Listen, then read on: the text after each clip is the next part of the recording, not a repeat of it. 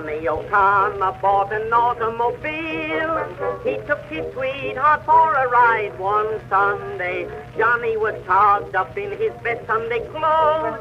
She nestled close to his side. Things went just dandy till they got down the road. Then something happened to the old machinery. That engine got his goat, off went his hat and coat. Everything needed repairs. He'd have to get under, get out and get under to fix his little machine. He was just dying to cuddle his queen, but every minute when he'd begin it, he'd have to get under, get out and get under. Then he'd get back at the wheel. A dozen times they'd start to hug and kiss, and then the darn old engine, it was missed, and then he'd have to get under, get out and get under to fix up his automobile.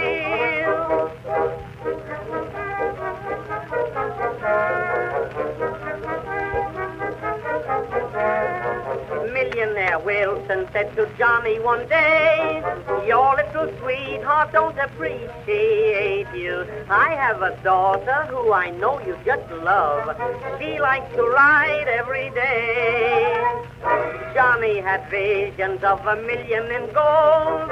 He took her riding in his little auto. But every time that he went to say, marry me, was the old story again. Have to get under, get out and get under to fix his little machine. He was just dying to cuddle his queen. But every minute when he'd begin it, he'd have to get under, get out and get under. Then he'd get back at the wheel. Every time he tried to steal a kiss, it seems a darned old spark plug. It would miss, and then he'd have to get under, get out and get under to fix up his automobile. He'd have to get under, get out and get under to fix his little machine.